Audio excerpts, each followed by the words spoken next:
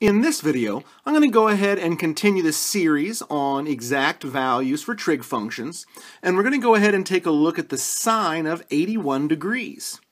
And so we're going to go ahead and find the exact value for the sine of 81 degrees by using this sum identity for sine.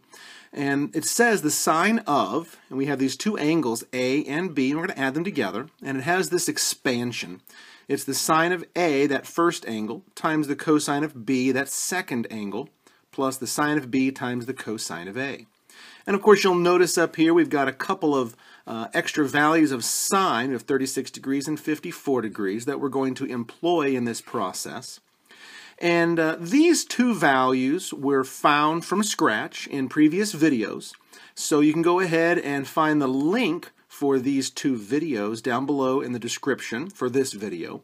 And these are uh, probably pretty interesting to watch uh, because this works from scratch and finds the roots of the polynomial equations and goes ahead and finds these values.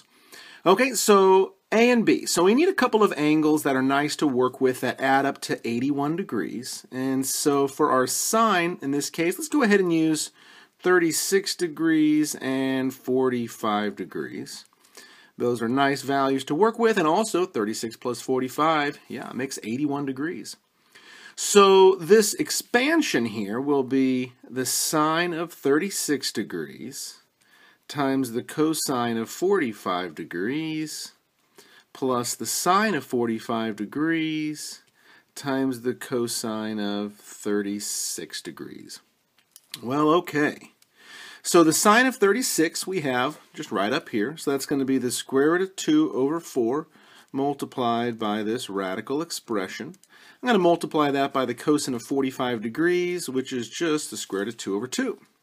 And to that we'll add the sine of 45, which similarly is the square root of 2 over 2, times the cosine of 36 degrees. Well, the cosine of 36 degrees, we don't really necessarily know what that is, but we know that sine and cosine have a great relationship with one another, where the cosine of one angle here, in our case 36 degrees, and the sine of the complement of this angle will have the same values. So the complement of 36 degrees is 54 degrees because, you know, 36 plus 54 adds up to 90. So the sine of 54 and the cosine of 36 will have the exact same values. And I just am going to go ahead and make this exchange with sine because these are the videos I have worked out explicitly already. So the sine of 54 degrees, I can go ahead and substitute in for the cosine of 36. Okay, and it'll be that guy right there. So here is our expression. Just uh, let's take a moment and kind of clean it up a little bit. So we have the square root of 2 over 2 and the square root of 2 over 4. So it looks like the square root of 2 times the square root of 2 will make a real 2, which will then cancel with the 2 down here. So it looks like 1 fourth times this radical expression plus, then it looks like we can go ahead and multiply these two outright. So the square root of 2 over 8, and then that's going to be multiplied by that square root of 5 plus 1. So we're saying then that here is our exact value for the sine of 81 degrees. And we went ahead and employed these other two values and used a sum identity for sine to find that value. Let's go ahead and grab a calculator and just make sure that, uh, you know, this works.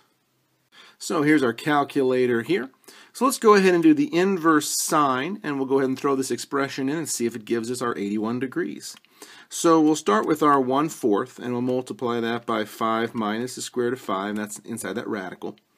To that we'll add, and it looks like we have the square root of 2 divided by 8, and we're going to multiply that by the square root of 5 plus 1. Close off all those parentheses, and yeah, 81 degrees. Very good. Okay, so let's go ahead and bring this back down again.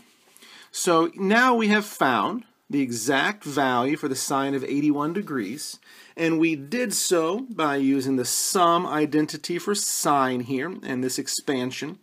And there were a couple of values we had to employ here, and again, these were found from previous uh, videos by working them out from scratch. You can find those links down below in the description for this video. But here you go, the sine of 81 degrees.